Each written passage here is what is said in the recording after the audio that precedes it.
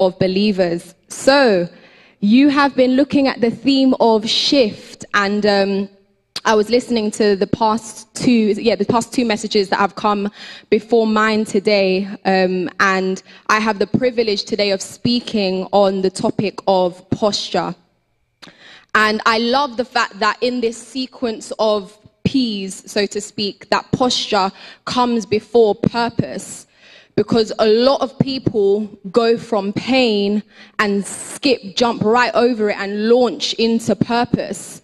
And that's why we see so many ministries crumbling, so many scandals happening because people overlook that integral part, which is tending to one's posture tending to your posture in the right season and in every season, to be honest, is what will keep you and sustain you, not only in your personal walk with God, but in the calling of God that's upon your life.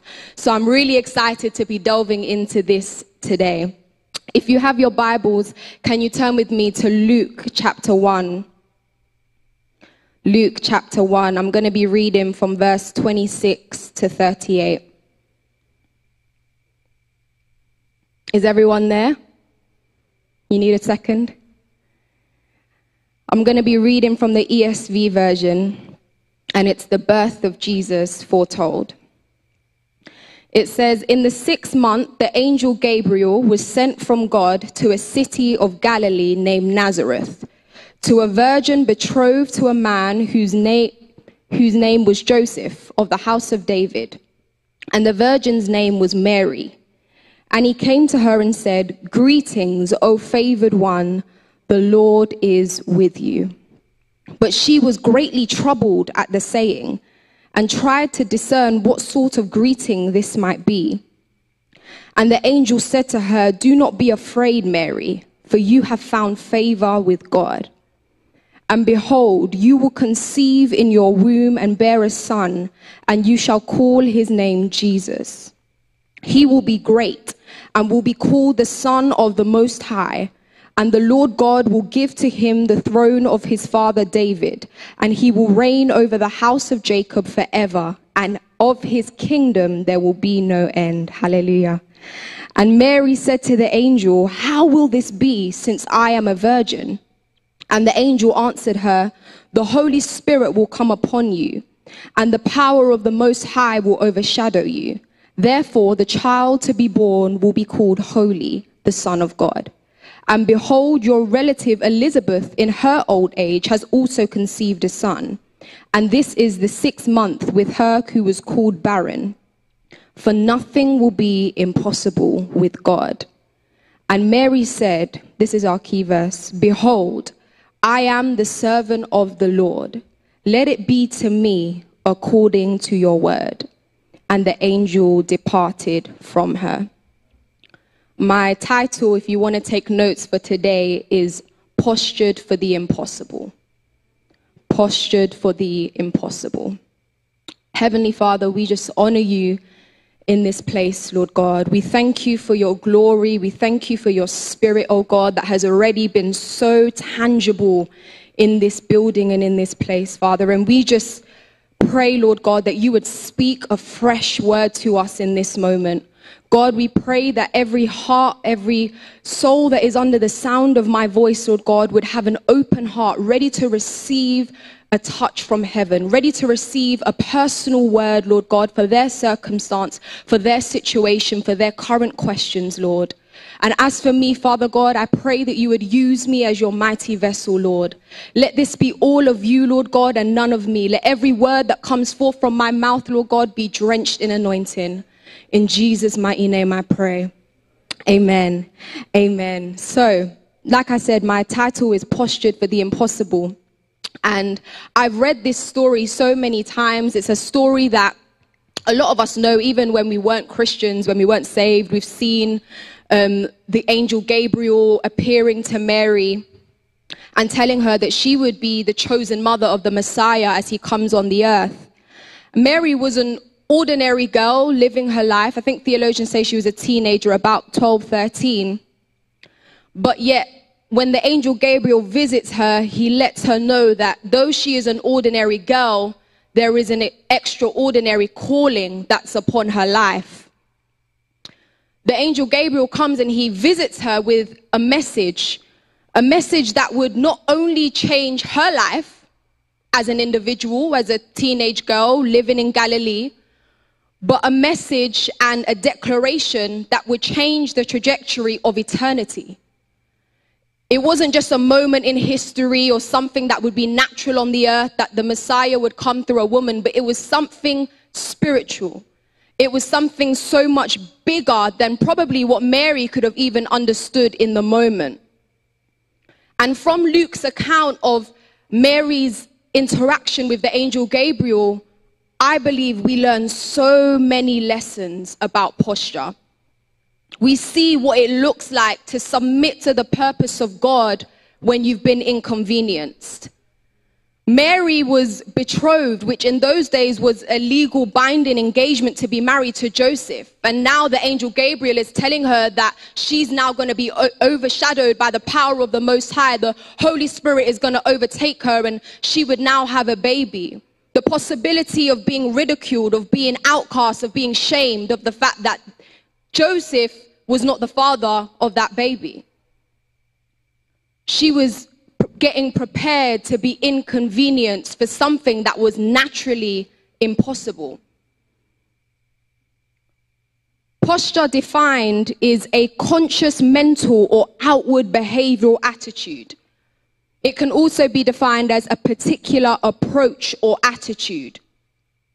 So when we think about posture, it's not necessarily something that you could just look at somebody and immediately see it.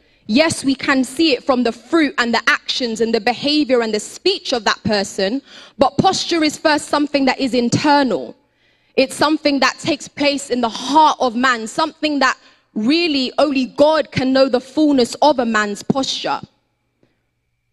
But it's something that is absolutely integral to your walk with God and something that is absolutely integral to how He will use you.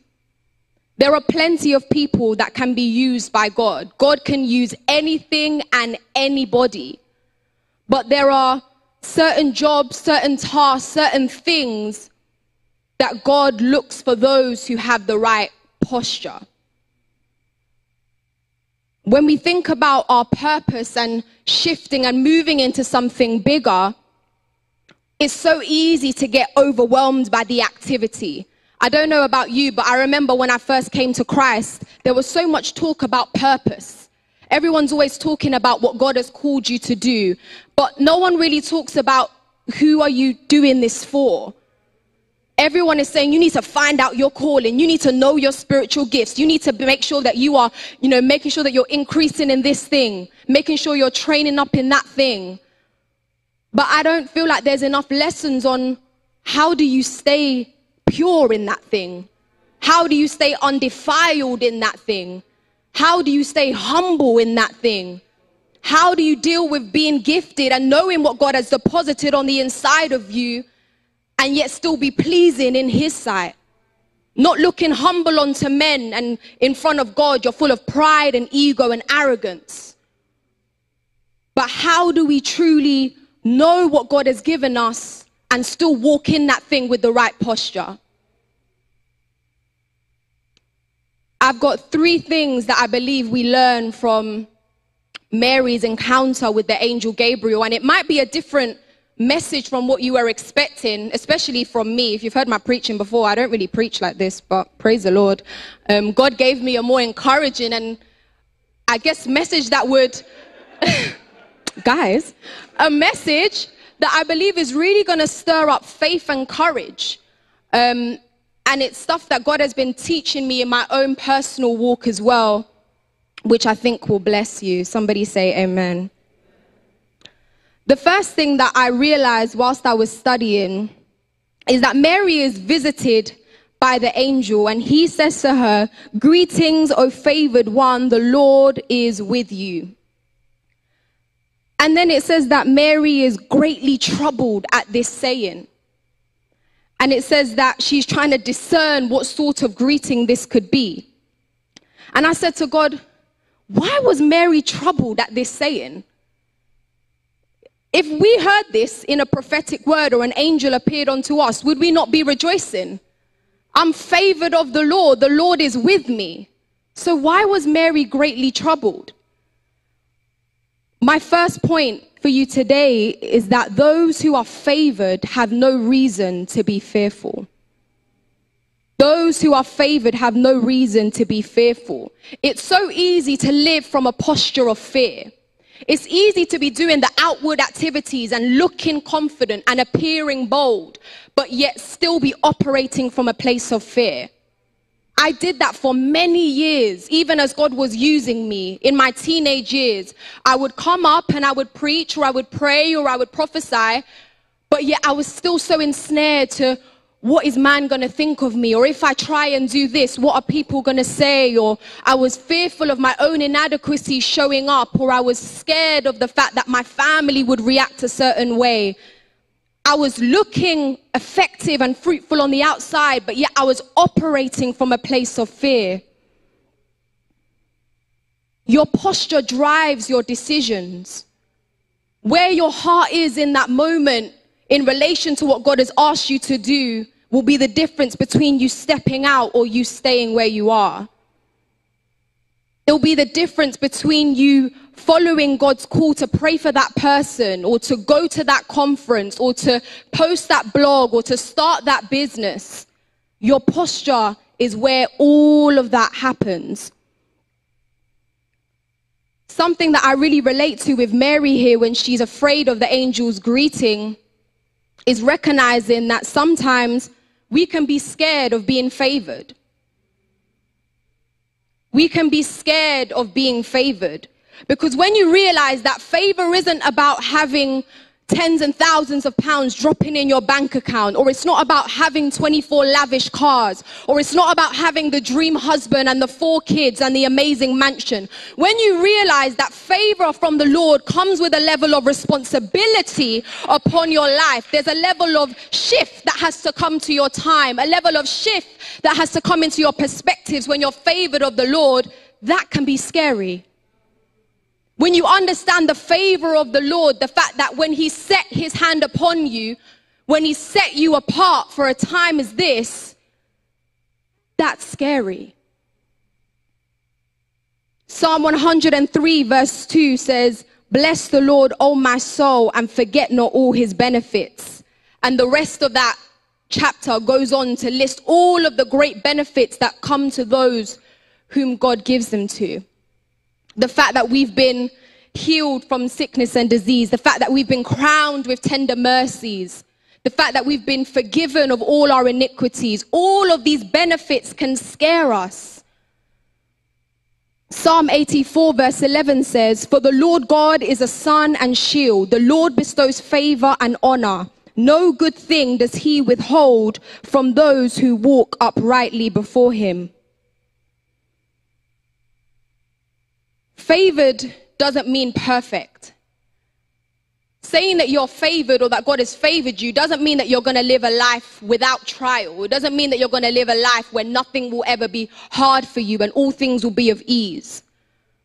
But when you're favored and honored by the Lord, there's a knowing, there's a conviction in your spirit that no good thing will He withhold from me that everything I need, every resource, every connection, every bit of anointing that I need for the time that He has called me to, to the people that He has called me to, will be given to me. That's favor. He looks upon you and says, You're the one for the job.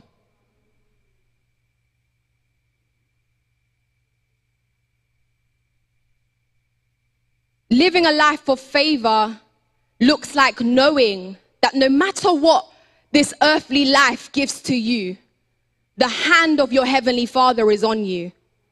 So even if people don't choose you for that job, you don't fret about it. I'm favored. When the right door that my heavenly Father has for me opens, it's a door that no man can shut. When something doesn't come through the way that you anticipated or expected it, you don't fret. I'm favored something better is going to show up so that God gets the glory from this. Some of us are saying we serve a great God, but we're not expecting great things. You cannot serve a great God and not expect great things. If you're going to say that you're favored, believe it. If God has said that you're favored, believe it. The next thing I noticed was that Mary was scared of the angel saying, The Lord is with you. Why would you be scared of that, Mary? Why would you be troubled at the fact that the Lord is with you? And God showed me, Caitlin, sometimes my presence scares people because they know the possibilities of it with God. When you know the possibilities of what can happen when God is with you, it shakes every part of your flesh that's ever been complacent. Every part of you that's wanted to stay hidden. Every part of you that has wanted to do just enough but not too much so you look mad every part of you starts to shake because you're thinking, if God is with me and I'm reading all of these things that He's done for the people in the Old Testament, how much more now under the new covenant of Christ with His Holy Spirit on the inside of me is He going to try and do with me? How much more is He going to do with me now with the Holy Ghost working on the inside of me? The possibilities of God scare us. Mary's humanity comes out at this moment. She's trying to discern the situation, but simultaneously, she's also trying to discern why me? Why, is, why am I favored? Why is the Lord with me? Some of you have been so used to doing life alone, getting it all done by yourself, feeling lonely in many moments and seasons of your life. But God is saying today, I am with you. I'm not going to give you an assignment and then leave you stranded without strategy or wisdom or my presence to comfort you. If I've commissioned you to do it, if I've sent my angel to declare a thing, don't think that I'm not going to be there every moment. I'm going to be there to give you the details. I'm going to be there to make sure you have the finances for that thing. I will be there. Psalm 23, verse 4 says, Even though I walk through the valley of the shadow of death, I will fear no evil, for you are with me. Your rod and your staff, they comfort me. In Deuteronomy 31, verse 8, when Joshua is taken over from Moses to possess the land that God had sworn to their fathers, it says, It is the Lord God who goes before you. He will be with you. He will not leave nor forsake you. Do not fear or be dismayed. In every single significant moment or commission in the Bible, the one thing that is definitely promised is God's presence. Before Jesus sends out his disciples, what's the last thing he says in Matthew 28? One of the last things. And I am with you even until the end of the age. When God was commissioning his prophets, his kings, people in the Old Testament, he reminded them that he was with them. God reminded the Israelites that he was with them. Because when nothing else makes sense, the one thing that can keep you sane is knowing that God has not left me, that God has not forsaken me. Even though this whole situation looks like a hot mess, I can know that He is with me. Even when this task, even when this assignment looks so much bigger than me, I can know that I'm not alone. We've settled for normal, we've settled for acceptable, not realizing that when we go in the power of His presence, He does the exceedingly, He does the abundantly above all we could ever ask or think. We've crafted out our calling according to the logic of what we think is okay, of what we think would be impressive or what we think people would find helpful. But God is saying today to some of you, scrap that. Scrap your plan. Scrap what you think your calling should look like. Don't be scared of me being with you in the midst of you trying to figure it all out. Yield to the possibilities of God. Yield to the possibilities of God. Whether it was overtaking a land in the Old Testament or building the church in the New, his presence was always promised. So if you have a moment this week or this month or this year or in the next five years where you're trying to put your hands to do what God has called you to do and you're having countless doubts and you can't remember a single promise in the Bible, just remember, I am with you. And that's all you could ever need. To know that He is with you is more than enough. Angel's encouragement to Mary as she was being afraid of the fact that she was favored and called and commissioned by God to do this thing was do not be afraid, Mary, for you have found favor with God. Because God's hand was on her, she had no reason to fear. When you go in your own strength, when you go according to your own timing, when you go under the pressure of your family or an expectation of a system, then you will be fearful. There will be those doubts. There will be those continual thoughts in your mind that are thinking, Am I really called to do this? But when you know that you're going by the Spirit of the living God, it's not to say the doubts won't come, it's not to say the fears won't come, but there will be a peace on the inside of you to know that because He has set me apart, because His hand is upon me, I have no reason to fear. Though man may reject me, though people may push me to the side or underestimate me, it doesn't matter, for He has favored me.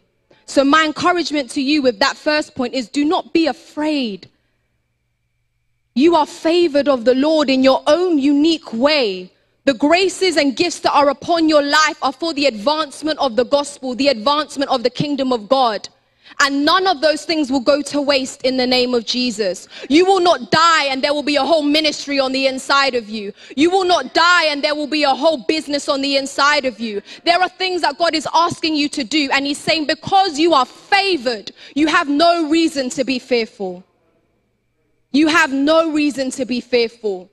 You are not average. You are not mediocre. The God of all of heaven and earth is on your side.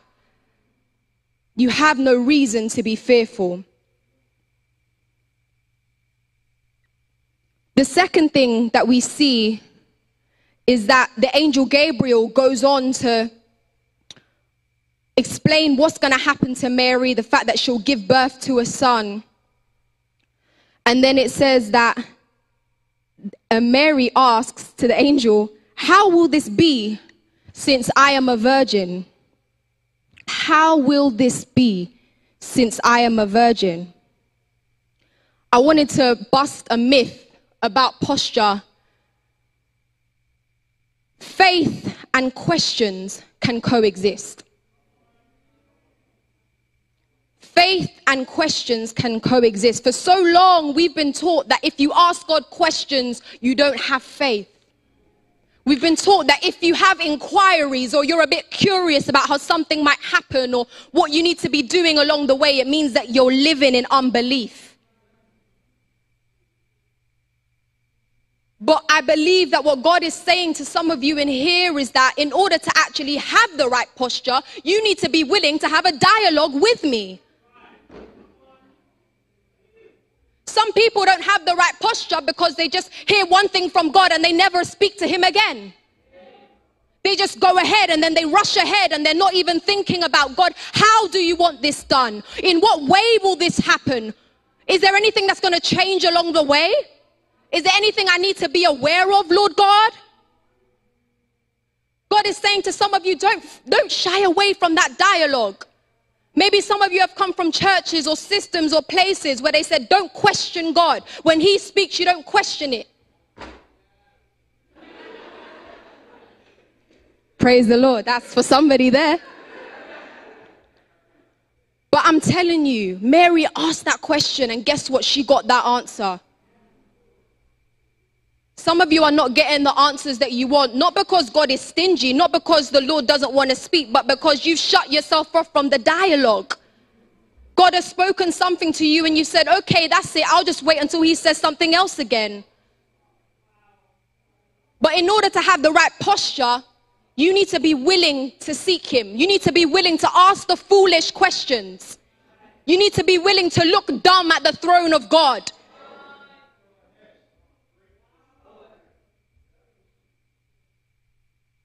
How will this be?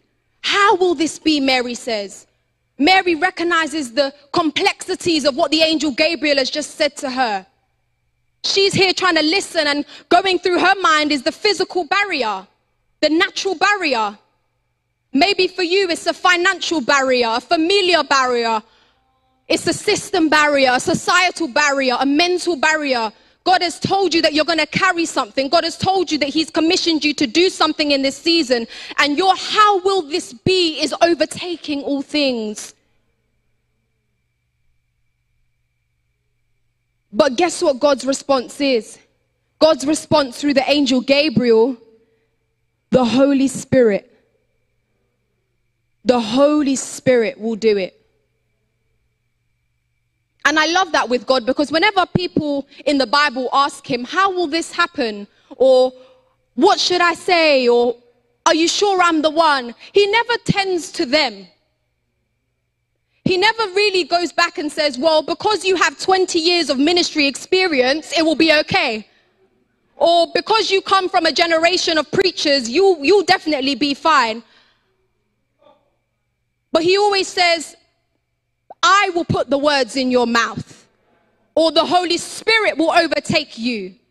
It always goes back to Him. And yet, some of us sit there in our prayer closets and go back and forth about the barriers. I'm too this, I'm too that, I'm not that enough. But God is saying, it's the Holy Spirit.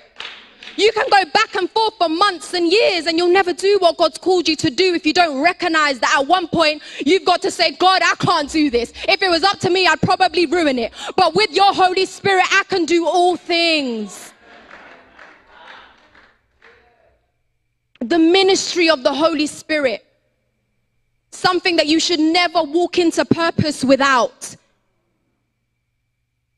Some of us skip from pain we say, in my own strength, with my own ideas, with my own understanding, and now I'm going over to purpose. But that key part here for Mary, when she had that question for God, was the Holy Spirit will overtake you. We need to hear from Him. We need to be taught by Him. We need to be filled by Him. Nothing significant in the eyes of God in all the earth was ever done without the Spirit of God. From Genesis 1 2, the Spirit of God was hovering over the waters in creation. To the resurrection of Christ in Romans 8 11, where it says, The same Spirit that raised Christ from the dead lives in us. To Acts 4 31, where they were filled with the Spirit and they were praying and started to proclaim the word of God with boldness. If all of these big things, creation, the resurrection of Christ, the establishment of the church were happening with the ministry of the Holy Spirit. What makes you think you can do your ministry without Him? Without immersing yourself in Him, consulting Him, being led by Him, being guided by Him.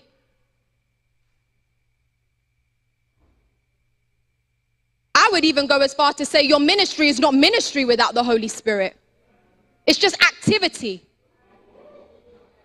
It might be great for a moment, people might appreciate it on the surface, but there will be no lasting kingdom change without the Spirit of God.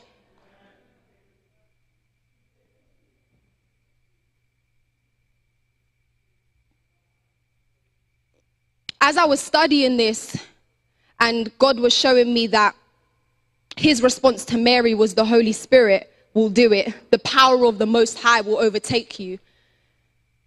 I felt for somebody in here that there was, there's been a life that you've lived where you've done it all.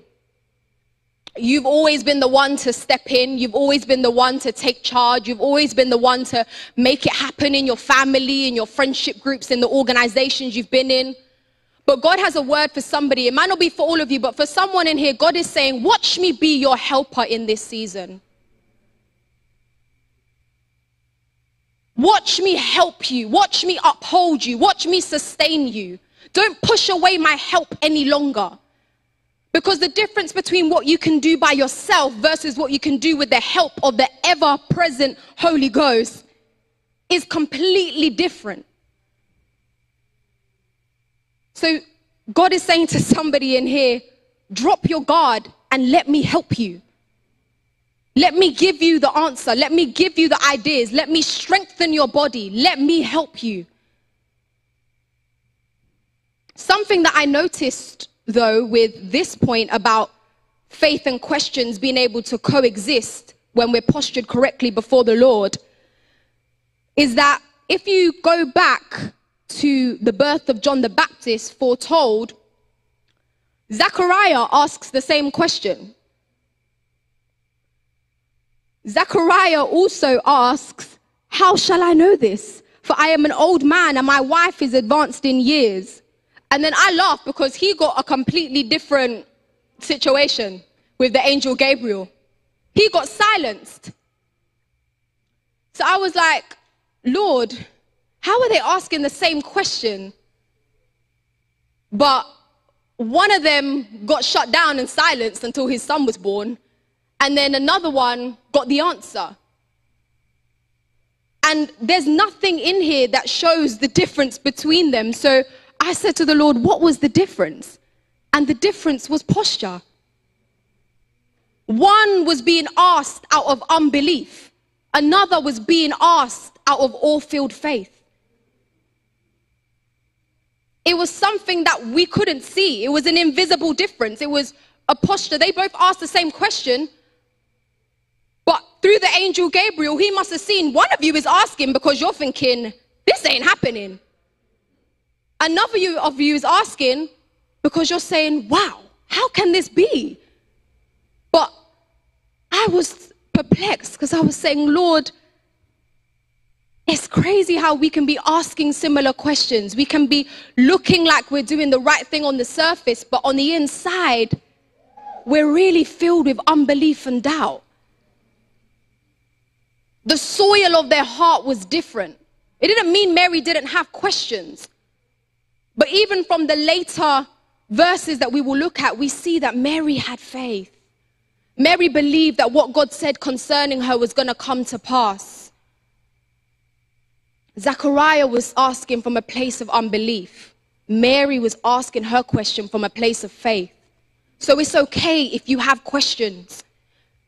Questions don't completely take out your faith, they don't dilute your faith.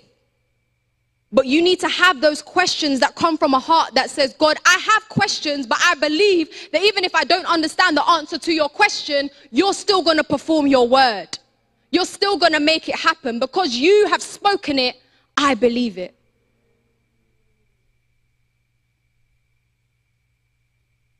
God then goes on through the angel Gabriel to tell him about to tell her about her relative Elizabeth. Elizabeth was also was barren, sorry, Mary wasn't barren, she was young. Elizabeth was older and she was barren. And Mary heard the testimony of God for Elizabeth's life when she was about to experience a testimony of her own. And it's so powerful how, in the midst of Mary's questions, the angel Gabriel speaks to her about Elizabeth. He encourages her and says, Look what the Lord has done. And he gives her a word to hold on to, for nothing is impossible with God. God, in his faithfulness, gave Mary a word to cling to. Have you ever been in one of those seasons where you just don't want to study, you just don't want to read, you have no energy or capacity to even seek the Lord, but there's that one word that He's given you that you know will keep you?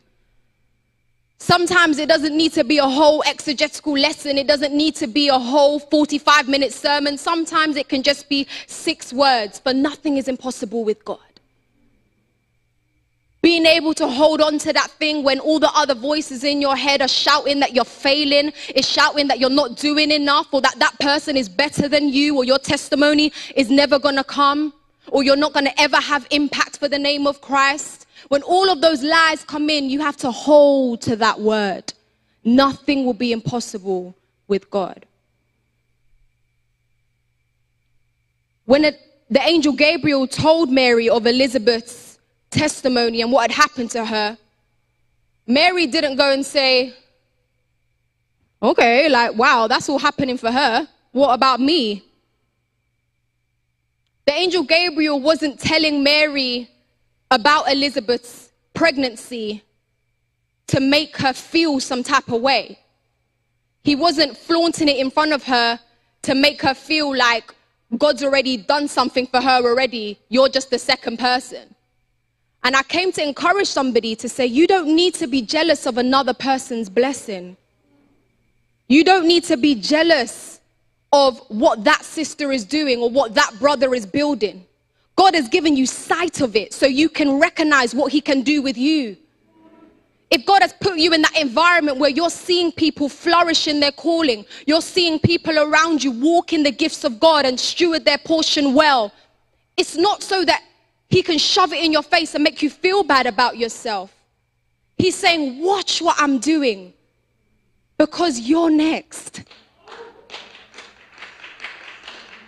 Watch what I'm doing because you're next.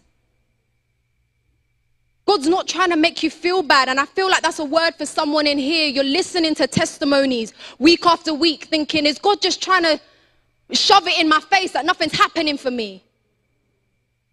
But God is saying, I'm giving you sight of those things so your faith can be increased, so that you can recognize that because I've done it for them, trust me, I can do even more than for you. Mary didn't have time to get jealous. She was postured correctly. She was focused on what God was saying that she would be carrying. And the funny thing is that she would be carrying someone more mighty, greater than John the Baptist. Some of us are here getting jealous over things that are even smaller than what God is calling you to. God is calling you for something bigger, something greater, something that will literally change the trajectory of eternity, but you're focused on somebody else's small thing. And it's not to say that the small thing doesn't matter because we need small things for big things to happen. But some of you are looking at other people doing what they're doing and thinking, why can't I even have that? But God is saying, why do you want John the Baptist when you can have Jesus? Why do you want something small when you can have the great? Mary didn't have time to be jealous. She heard the word of the Lord.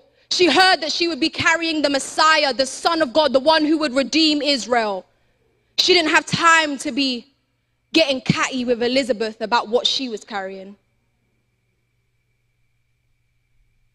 I'll close that point by reminding you that being faith filled doesn't mean that you don't have questions. Bring your questions to Him. God is saying, bring your questions to the throne room. Every question you have about the purpose and the calling of God upon your life, bring it on to me.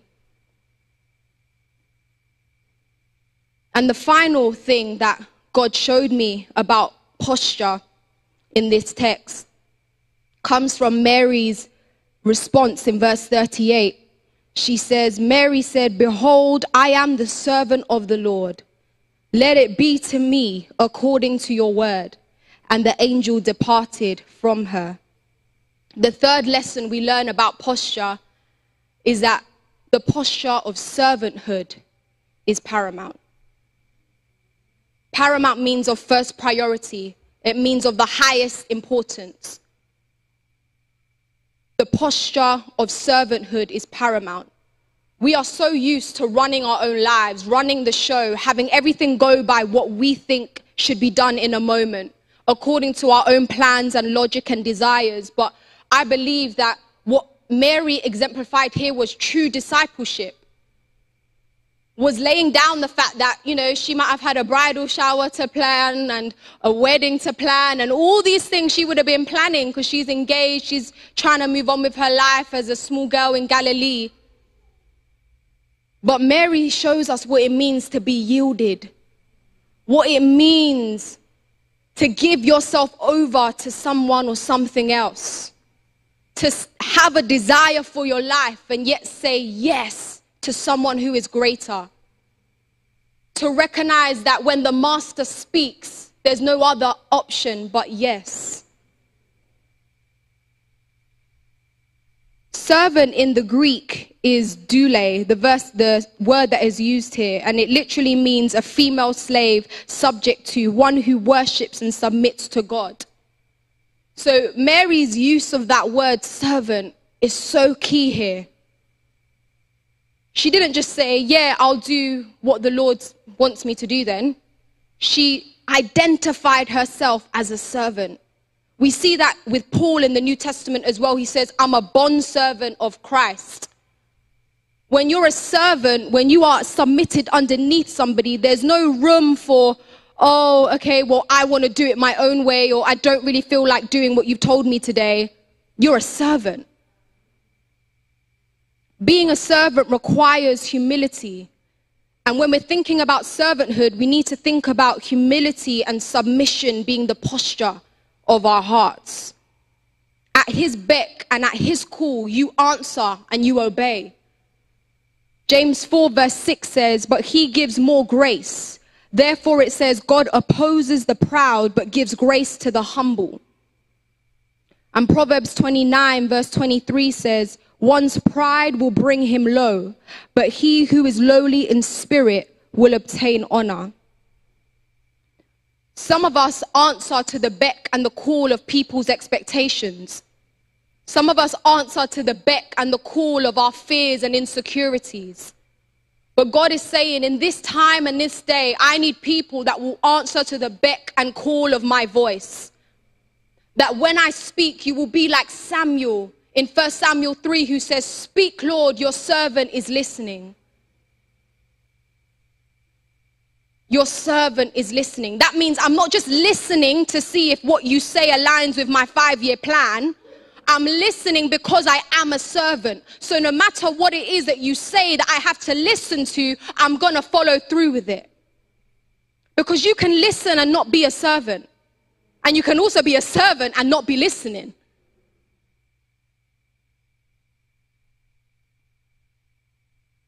The next thing that I see Mary does is she qualifies who she's a servant of.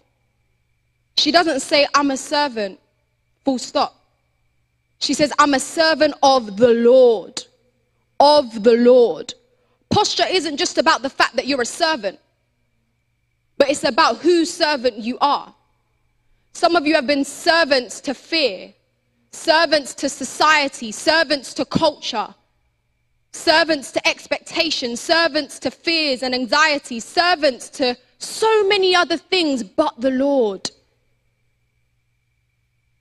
And we don't realize it until we get to these moments in our walk where we're like, have I even been doing what God has been asking me to do? Or am I just going based off of what other people want me to do? What other people expect me to do, what even I expect myself to do. Am I even doing what God wants me to do? Mary says she's a servant of the Lord. In this season, God is drawing you back to being his servant. All those other things that have kept you captive, all those other things that you've been in bondage to, you've been following the voice of so many other people and things. God is saying, No, you're my servant. You're my servant. And then Mary says, Let it be to me according to your word. Let it be to me according to your word. This is something that has always, always stuck out to me about Mary. When she says this, let it be to me according to your word. Mary came into agreement with the declaration of God. Mary came into agreement with the declaration of God. You can hear so many prophetic words. You can have thousands of people speak over your life in the midst of your journey with Christ. But if you don't ever come into agreement with that thing and say to the Lord, let it be unto me according to your word, you will never see that thing manifested properly in your life. There's a level of agreement that is necessary for you to see what God is promising you. We must stand in agreement with what God speaks and what God reveals. We see power and true transformation when we partner with God. When we read this word, when we hear his voice and we say, Yes, Lord, even though it doesn't make sense to me, I'm going to stand in agreement. Because of who spoke it, I'm going to trust it. Because of who said he's going to perform it, I'm going to trust it.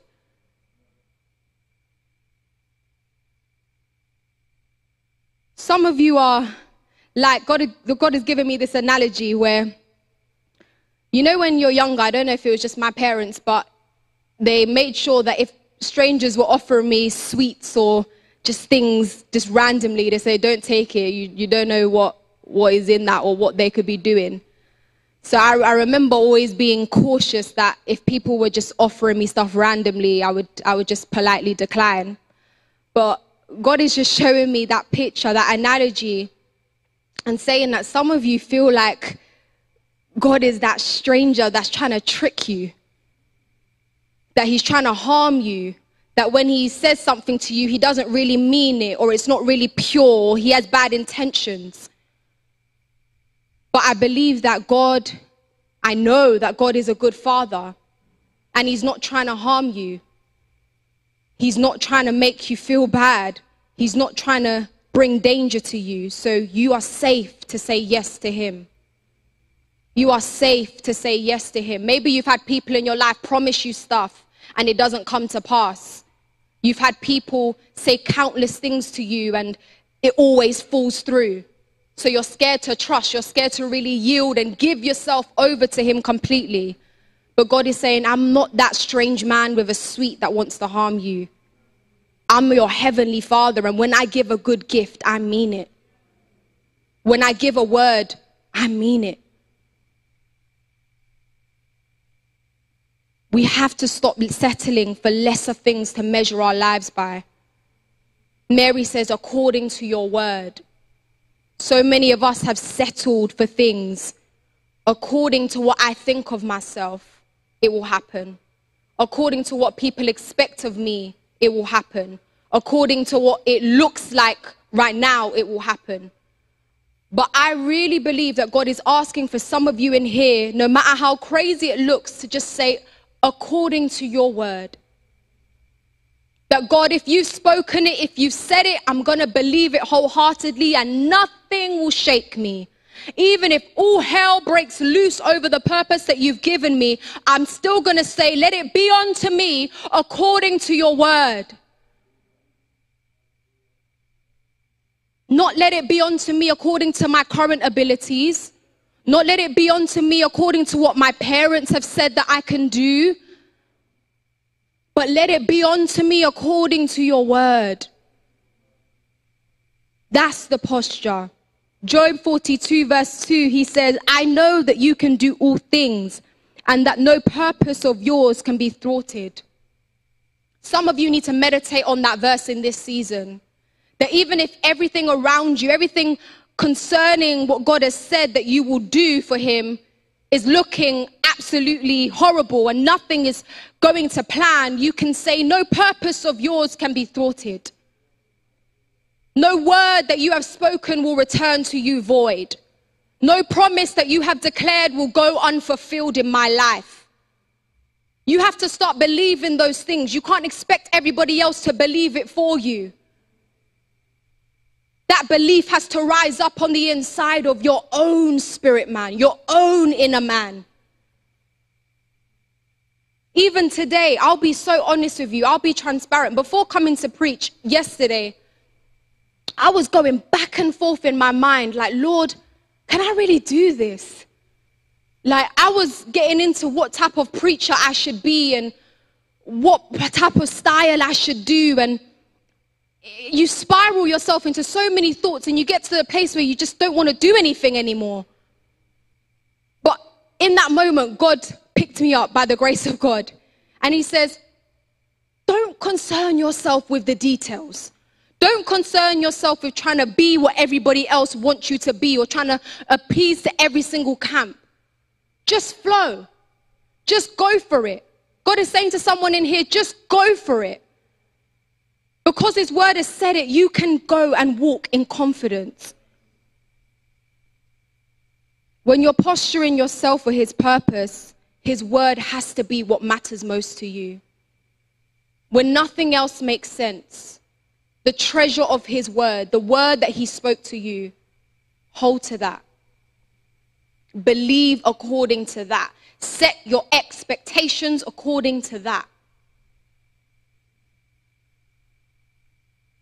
And as I conclude, I just want to say this that what Mary was carrying was something that people didn't expect. They were expectant on it in the sense that they knew that a coming Messiah was coming, but they didn't expect it to come from where it was coming. In earlier verses, you'll see that in the book of John, Philip finds Nathanael and says to him, We found the one Moses wrote about in the law, the one the prophets foretold, Jesus of Nazareth, the son of Joseph. And Nathanael asks, Can anything good come from Nazareth? And Philip says, Come and see. God was not oblivious to the fact that the little teenage girl he was picking to carry the Messiah was from Nazareth. That she was there in Galilee, a place of bad reputation, a place where people said nothing good can come out of that place. A lot of them were uneducated, they weren't wealthy. But not only did something good come out of there, the definition of good came out of there. The goodness of God personified in the flesh came out of there. Mary, that little girl from Nazareth, where they said nothing good can come out of there, carried the goodness of God. She carried God Himself. And that was birthed out of her. And this is the Jesus that I want to remind you died for your sin. He took on all the wrongdoing, everything that you had ever done that has displeased God, that has fallen short of the standard that God writes in His Word. She was carrying that. That Jesus. That Jesus who rose from the dead so that you could have victory in your life so that you didn't have to stay in bondage to sin, so that you could have power over sin and you could have an abundant life in Him. So I want to ask you to stand with me. And I want to just open up the altar for those who maybe have never heard of Jesus or have never really opened up their heart to receive him as Lord.